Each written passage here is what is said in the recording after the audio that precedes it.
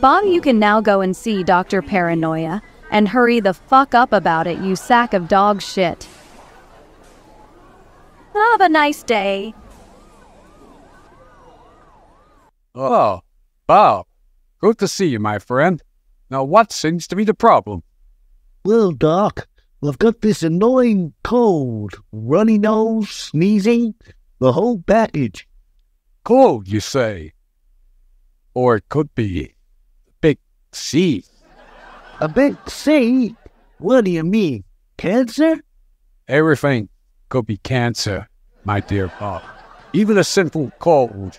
The body is a mysterious land, and you, my friend, are an explorer. Come on, Doc. It's just a cold.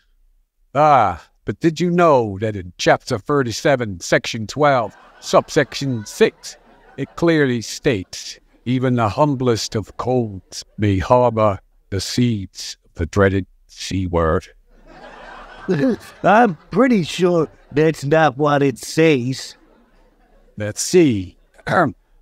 Potential cancer. Sneezing. Likely cancer. Runny nose. Definitely cancer. Wait, seriously? Bob, my friend, in the world of Dr. Paranoia, everything could be cancer. Your morning coffee, cancer. That potted plant in your living room, definitely cancerous. Uh, should I be worried about this medical degree on your wall? Oh, that? It's just a formality. Now let me check your reflexes.